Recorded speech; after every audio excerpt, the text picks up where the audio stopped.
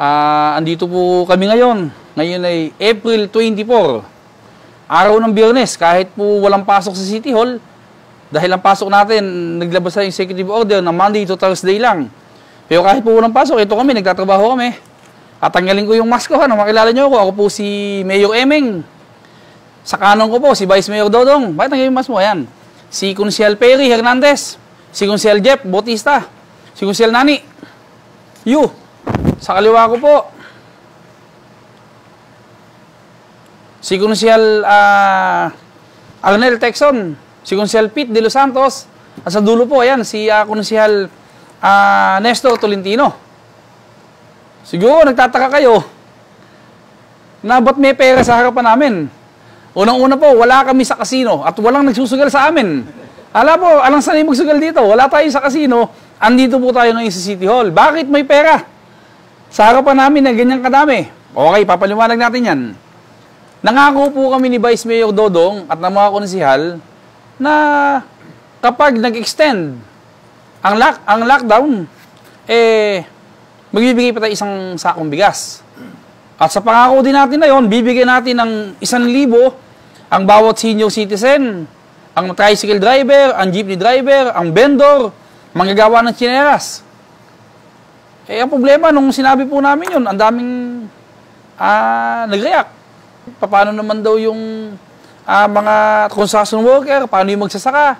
So, para sa ibang tagagawan, parang hindi parehas. Okay, punta muna tayo sa bigas. Yung pong bigas, andyan na, kumpleto.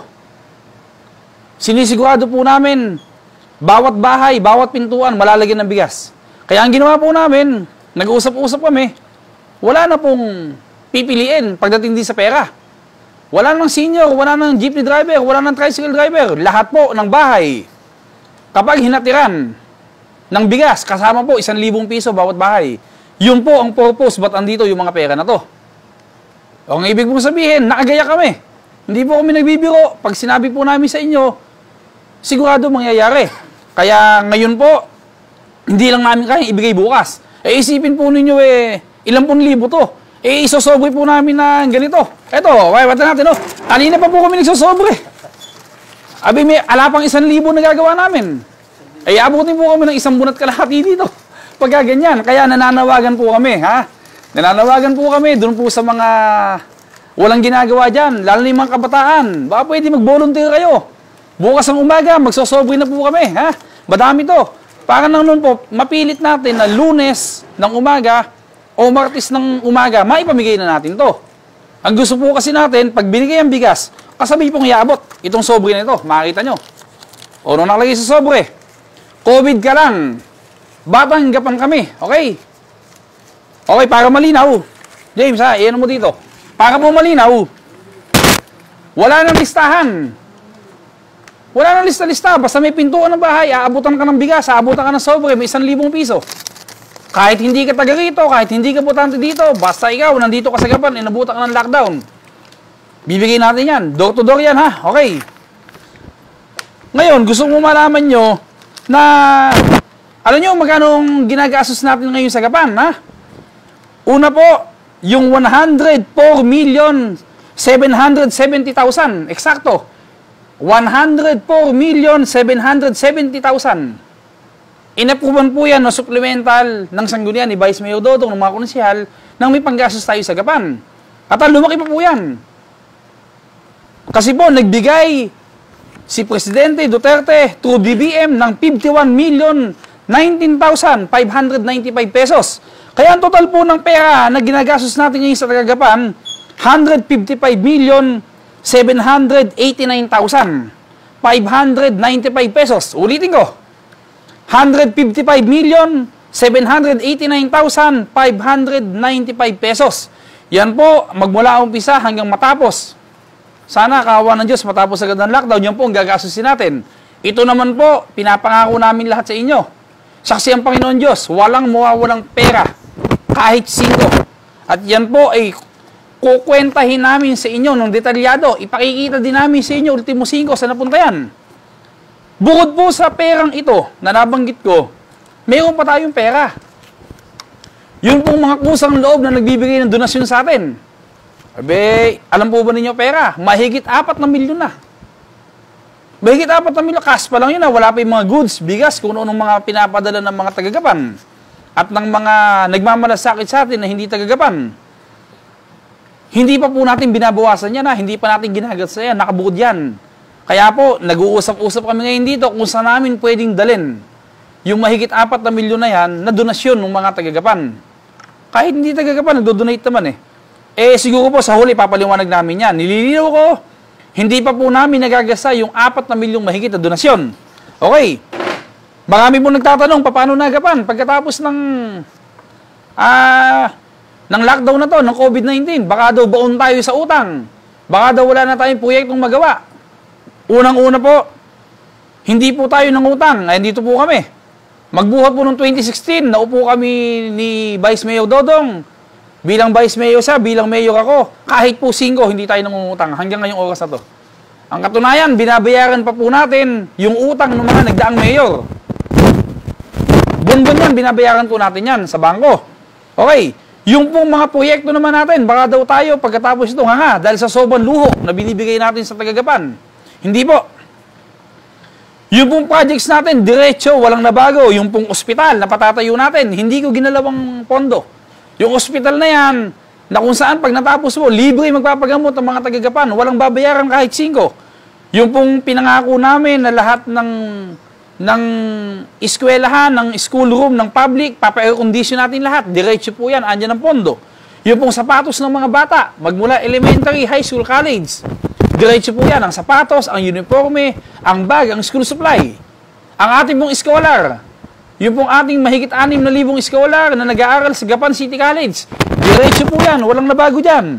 Yung ating butika, kung saan po yung butika natin dito sa Gapan, yung ating central pharmacy, kung saan po, sa mga hindi taga-Gapan, kung nanonood, gusto lang po namin pagyabang sa inyo. Dito po sa Gapan, mayroon kaming central pharmacy. Kung saan po, ang lahat ng taga-Gapan bumibili ng gamot sa amin. Ano bayad? Reseta. Basta may reseta ka, libre ang gamot, walang bayad. May pamasahe pa pong pauwi. Tapos po, yung senior citizen, nag-aalala yung mga lola, lolo.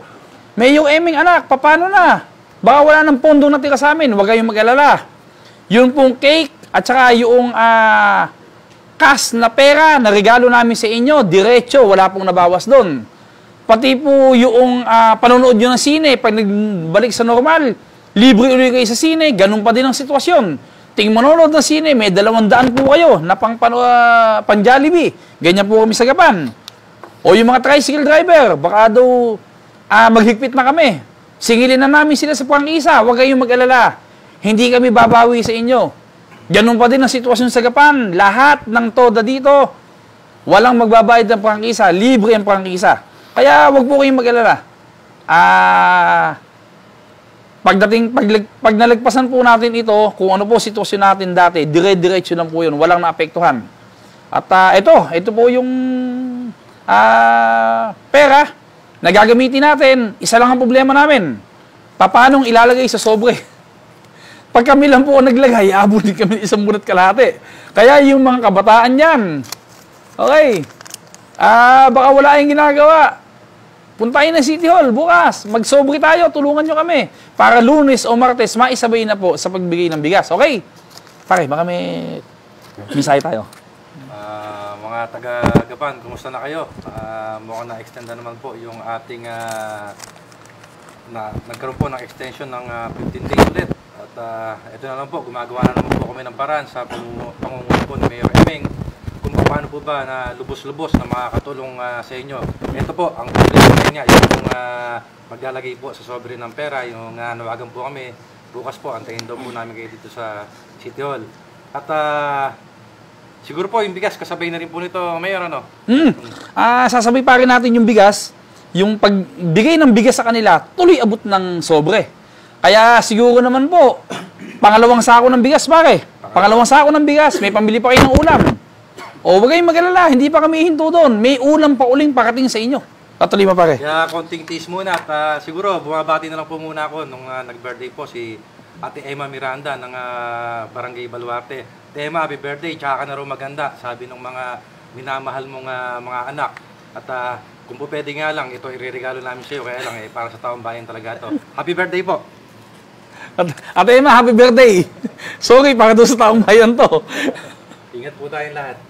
Maraming maraming salamat po sa inyong pagsunod sa tagubili ng ating butihing mayor na hindi po natin paglabas ng bahay ay eh, napakaganda po na epekto. Wala po nagkakaroon ng COVID-19 dito sa Gapan. At malinis na po, PUM, PUI po, talaga pong papaunti ng papaunti.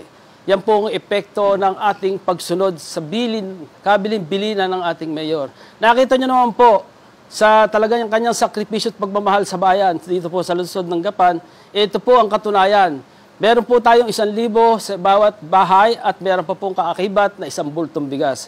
Ipagpatuloy lang po natin ang pagsunod sa bilin ng ating mayor. Yan po ay para sa kapakanan at kaligtasan natin lahat. Uh, gawa nga po nung na-extend ulit yung ating uh, lockdown, ay uh, kaya nga po ito at uh, patuloy naman po yung ginagawa pong uh, pagsusumikap po ng uh, ating mahal na po ng lungsod na si Mayor Emeng, Vice Mayor Dodong, at po yung mga sang sanggunang uh, panglungsod members na ito po, nakaharap po namin ngayon, yung pera pong itutulong muli sa inyo, may kasama po po itong isang bultong bigas. Kaya sana po tayo ay tumalima sa tinatagubilin nga po ng ating pamahalaan na makiisa po tayo na hindi po muna tayo lalabas ng bahay. Gawa nga po ng uh, uh, hanggang sa ngayon nga po ay uh, meron pa din po nga uh, umiiral na COVID po nga COVID po dito. Kaya sana po, huwag na po tayo nilalabas ng bahay. Nandito na naman po kami, kasama po natin ang ating punong lungsod. At ang ating pong pangalawang punong lungsod, kasama po ang aking mga kasama sa Sangguniang.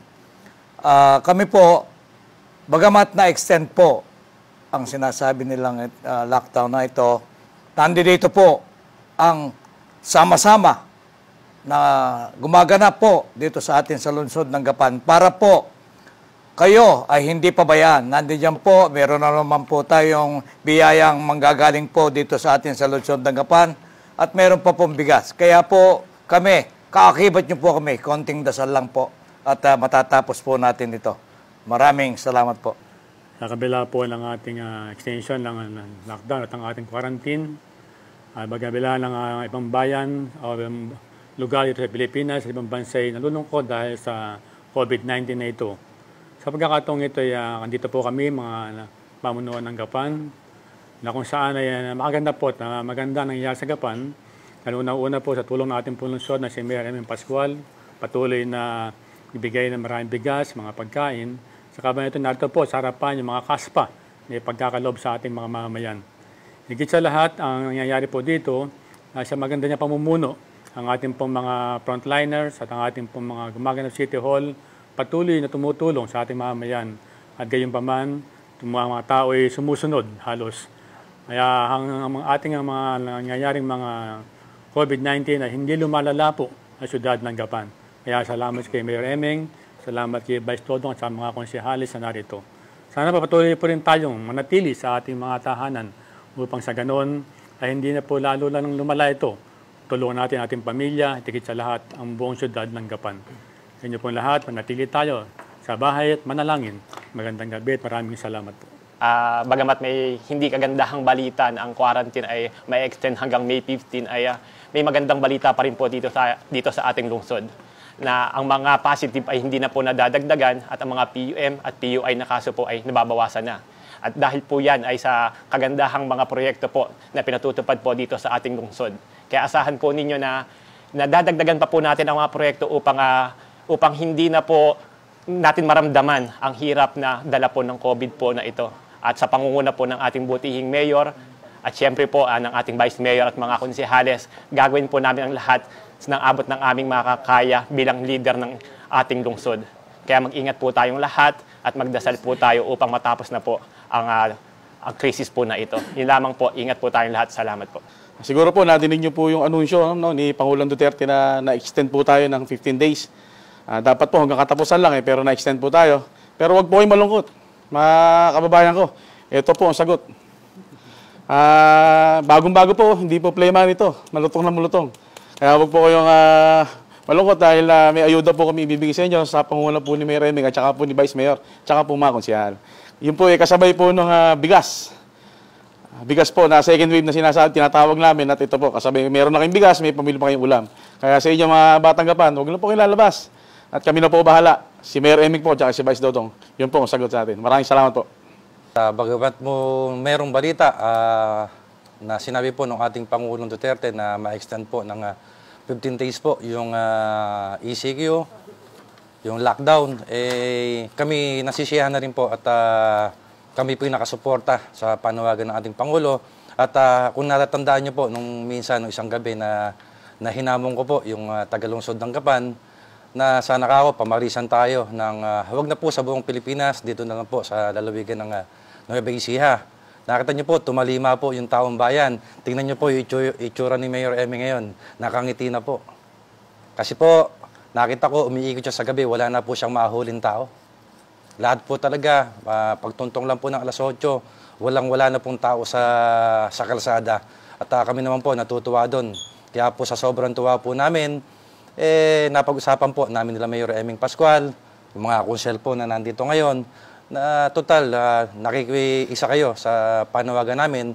Kaya todo buhos na po ang uh, ibibigay naming uh, suporta sa inyo. Sana po, konting-konti na lang po ito. Isa pang hamon po ulit sa inyo na sana po sa buong uh, Nueva Ecija, tayo po ang kauna-unahan na uh, maging COVID-free. Uh, maraming salamat po at uh, pagbati na lang po siguro sa, sa akin pong uh, pinsan. Uh, napunta na po si Mayor Eming sa mga pinsan ko, kay Stacy po. Happy 40th birthday, Stacy. Uh, nasa San Diego at uh, pagbati po kay Ating Lina, kay Kuya Cesar, kay eh, Ate Lake, kay Ate Liit, sa pinsan ko, kay Patrick, kay Dave. Uh, sana po, uh, kundi lang nagkaganyan-ganyan, baka po napunta kami dyan. Eh, pero pagpasensyahan niyo na po at uh, mas kailangan kami rito sa, sa lungsod ng Gapan. At uh, yung sa kapatid ko po, sa nasa Cavite, kay Attorney Ronald Bautista at kay Judge Mini Bautista, uh, okay lang daw, sabi ni Mamit ni Daddy na huwag muna kayo umuwi para po sa kaligtasan nyo kay Digong Omeng, nasa kabantuan ngayon. At siya nag, uh, nag-birthday po kahapon, papabati po, pinabati po ng kanyang anak, si Ate Emma uh, Miranda. Happy, happy birthday po at uh, sa susunod na po kayo mag, uh, magsuot ng gown.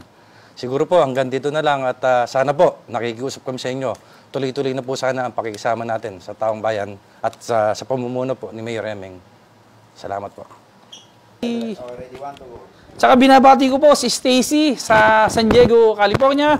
Stacy, happy 40th birthday! Kay Kuya Dolphy, kay Ate Lake, kay Ate Liet, San Diego, kumusta kayo dyan? Kay Ate Lina, napakabait ng mga tao. Kumusta po kayo dyan? Mag-iingat kayo lagi. At uh, sa lahat po ng tagagapa na San Diego, magandang gabi po sa inyong lahat. Doon po sa mga kababayan ko, sa lungsod ng Gapan, uh, isa lang ang hinihiling namin sa inyo, basta mag-ingat po tayo, sumunod din tayo sa sinasabi ng batas. Huwag tayong lalabas ng bahay, hayaan nyo na kami. Kami dito na lumabas ng bahay, kami na, trabaho na namin yon. Ang trabaho nyo lang po, huwag kayong lumabas ng bahay, hindi ba? Oh, ito po, tingnan nyo ha. Pangalawang sako ng bigas. Ulam po, ala naman katapusan ng ulam, dire-diretso bigay namin. Ito po, yung pangalawang sako ng bigas, may kasama pang isang libo. Eh, basta kami po, ayan ako bilang mayor nyo, si Vice Mayor Dodong, yung mga konsyal, umasa po kayo na hindi po isang daang porsyento, isang libong porsyento magtatrabaho kami para sa inyo. At uh, huwag kayong nagpapasalamat sa amin. Uulitin ko, Huwag kayong magpasalamat sa amin sapagkat ito ay pera ninyo.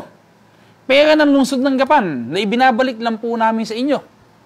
Nagkataon lang po na kami ang nagmamanage ng inyong pera. Kami po ang lumalabas na leader ngayon dito sa lungsod ng Gapan. Itong pandemic nito nangyayari sa buong Pilipinas, ito po ay napakalaking challenge sa aming mga leader.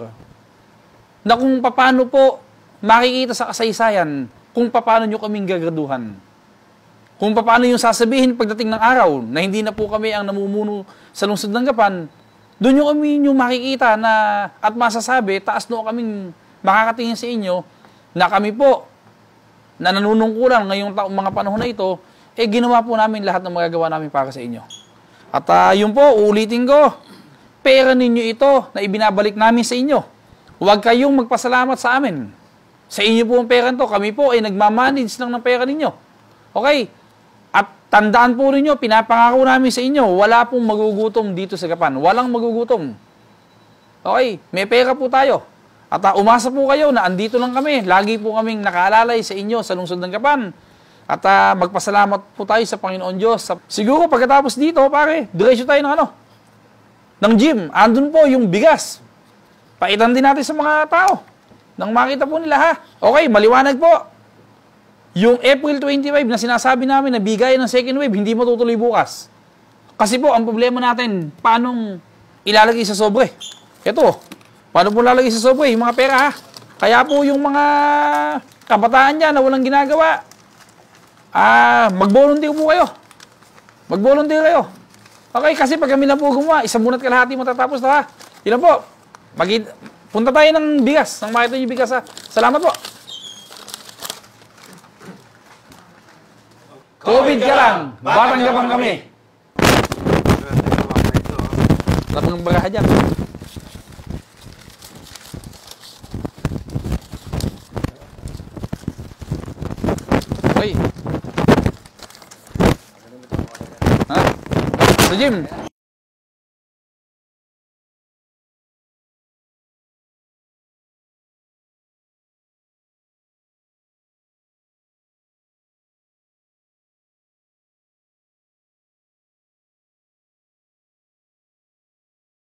Ayun, ito po yung bigas na pamimigay natin sa mga tagagapan.